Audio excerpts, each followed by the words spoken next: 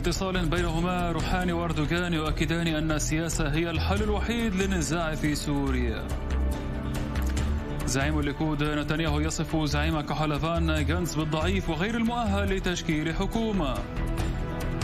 ثناء دولي على الاتفاق التاريخي المبرم بين طالبان والولايات المتحدة.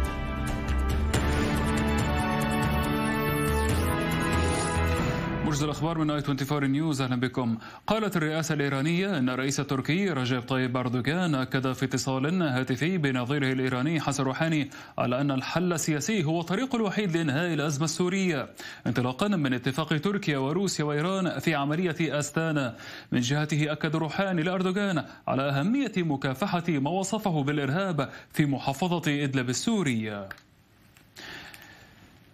هدد رئيس تركي رجب طيب أردوغان بالسماح لآلاف اللاجئين بالتوجه إلى أوروبا في مساع لانتزاع مساعدة أوروبية في قضية اللاجئين ومواقف مؤيدة حيال النزاع في سوريا. وقال أردوغان إن 18 ألف مهاجر تجمعوا عند الحدود بين تركيا وأراضي الاتحاد الأوروبي منذ الجمعة مضيفا أن العدد قد يصل إلى 30 ألفا اليوم. أفادت وثائق نشرتها قناة فرانس 24 أن عشرات من الجهاديين الفرنسيين يشاركون في معركة إدلب بشمال غربي سوريا. ويظهر شريط المصور تلقته القناة ومدته 40 ثانية. ثلاثة مقاتلين خلف تحصينات يطلقون النار من بنادق رشاشة ويتحدثون بالفرنسية. وأجرى مراسل القناة مقابلة مع المدعو عمر محسن الذي يجند الجهاديين الفرنسيين مؤكدا أنه لا يتبع أي جماعة محددة. نفت الحكومة الفلسطينية أقوال السفير الأمريكي لدى إسرائيل ديفيد فريدمان بوجود قنوات خلفية للمفاوضات مع الولايات المتحدة حول صفقة القرن للسلام. وفي وقت سابق قال فريدمان إن هناك قنوات خلفية مع قيادات في السلطة الفلسطينية وحكومتها مضيفا خلال مقابلة مع وسائل إعلام عربية أمس. إن هناك اعترافا ضمنيا فلسطينيا ببعض الجوانب الجديدة والإيجابية في خطة السلام.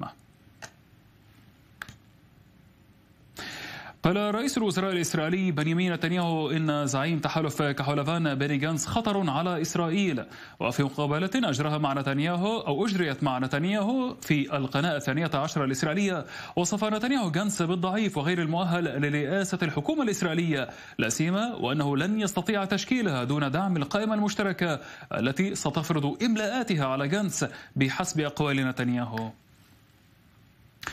من ناحيته لام زعيم تحالف كحول لفان بيني جانس خصمه رئيس حزب الليكود بنيامين نتنياهو على تسريب تسجيل صوتي لمستشاره السابق والذي يصف فيه المستشار جانس بالضعيف حيال الملف الإيراني والخطر على دولة إسرائيل.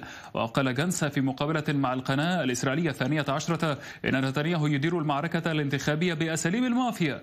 من ناحية أخرى قال جانس إنه يؤيد شطب عناصر من القائمة المشتركة مثل هبة يزبك التي اتهمها بدعم ما وصفه بالإرهاب الإرهاب. قال رئيس حزب إسرائيل بيتينو الإسرائيلي أفيغدور ليبرمان إن رئيس الوزراء الإسرائيلي بنيامين نتنياهو طمأن الملك الأردني عبد الله الثاني حول مخططات الضم في الضفة الغربية.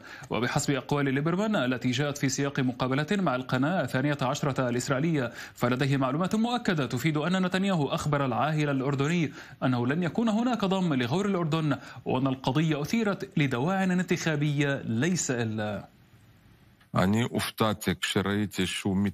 تفاجأت عندما لاحظت أن نتنياهو لم يعرض قانون الضم للتصويت وقبل بضعة أيام حصلت على معلومات تفيد بأن نتنياهو قام بإبلاغ الملك عبد الله قائلا لا تقلق لن يتم ضم غور الأردن إلى إسرائيل هذه فقط دعاية انتخابية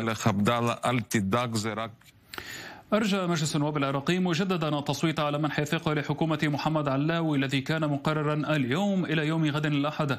وأعلن رئيس البرلمان محمد الحلبوسي موافقة رئاسة المجلس على الطلب.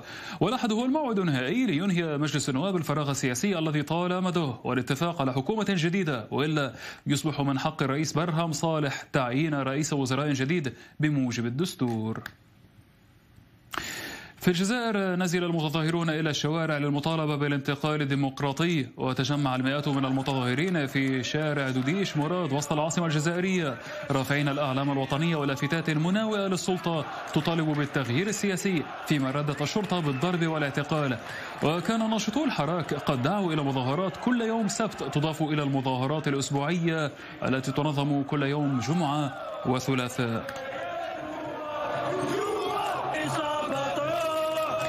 وقعت واشنطن وحركة طالبان اتفاقا تاريخيا في الدوحة لسحب الجنود الأمريكيين من أفغانستان ضمن فترة زمنية من 14 شهرا وذلك بعد 18 سنة من اندلاع أطول الحروب في تاريخ الولايات المتحدة. ونص الاتفاق على تخفيض عدد القوات الأمريكية من 13 ألفا إلى ثمانية آلاف ونصف خلال الأشهر القادمة كمرحلة أولية بالإضافة إلى تبادل آلاف الأسرى ضمن إجراءات لبناء الثقة بين الجانبين. إن الاتفاق بين الولايات المتحدة وحركة طالبان يخلق الظروف اللازمة للأفغان للقيام بذلك. هذا قرارنا بشأن خطوات طالبان التي من شأنها إنجاح هذه الاتفاقية. أولا حافظوا على وعودكم بقطع العلاقات مع القاعدة والإرهابيين الآخرين. تابعوا القتال لهزيمة داعش إن الإمارة الإسلامية لأفغانستان مع الولايات المتحدة ملتزمون بهذا الاتفاق كقوة سياسية. علينا أن نحافظ على هذا الاتفاق مع الجيران ودول المنطقة والمجتمع الدولي. نحن نريد علاقة إيجابية مع الجميع. أثنى الرئيس الأمريكي دونالد ترامب على الاتفاق الذي وقعته واشنطن وحركة طالبان ونقل بيان للبيت الأبيض عن ترامب قوله فيما يتعلق بالاتفاق المبرم في الدوحة إنه يعمل على إنهاء أطول حروب الولايات المتحدة أخيرا وإعادة القوات الأمريكية إلى وطنها. كما ولقي الاتفاق قبولا وترحيبا دوليا من جانبه حثت الأمم المتحدة على استمرار خفض العنف في أفغانستان داعية إلى تقديم المساعدات ومواصلة الحوار كما أعربت الأمم المتحدة عن دعمها لعملية شاملة بقيادة أفغانستان وحثت على اتخاذ خطوات ملموسة نحو إنهاء الحرب. أعلنت قطر تسجيل أول إصابة بفيروس كورونا المستجد لدى شخص عائد من إيران في وقت تتزايد فيه أعداد الإصابات في دول الخليجية المجاورة باستثناء السعودية. وكشفت كل من البحرين والإمارات والكويت عن عشرات الإصابات لديها.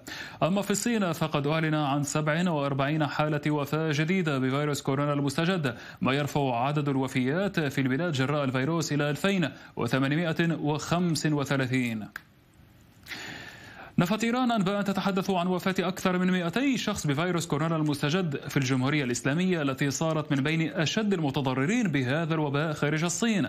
وأعلنت أعلنت وزارة الصحة الإيرانية تسجيل تسع وفيات جديدة ما يرفع الحصيلة إلى 43 وفاة و500 إصابة.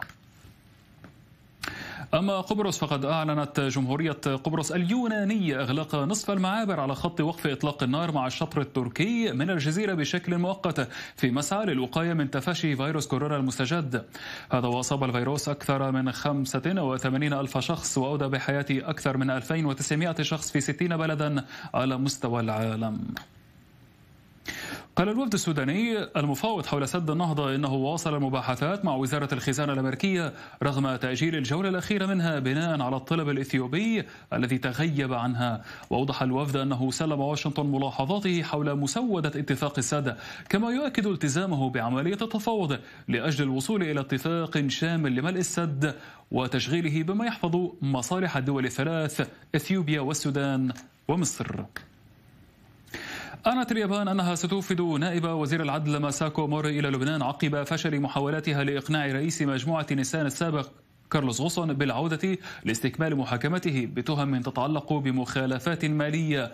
ومن المفترض أن يغادر هيرويوكي يوشيي نائب موري طوكيو اليوم للقاء وزير العدل اللبناني. وتضيف وزارة العدل اليابانية أن المتهم هرب إلى لبنان وعليه تحتاج طوكيو لتفسير من النظام القضائي اللبناني. تجمع معارضون روسيون في موسكو وسانت بطرسبورغ للاحتجاج على التعديلات الدستورية التي يعتزم الرئيس فلاديمير بوتين تنفيذها. وكذلك إحياء لذكرى المعارض بوريس نيمتسوف الذي اغتيل قبل خمس سنوات قرب الكريملين. وهذه أول تظاهرة كبرى منذ الإعلان عن التعديل الدستوري الواسع الذي ينذر ببقاء بوتين مدة أطول في الحكم. ويحتاج المتظاهرون على ما يصفونها بالدولة البوليسية وغياب الحريات بما يشمل انتخابات حرة ونزيهة. نهاية الموجز موجز شكرا المتابعة إلى اللقاء.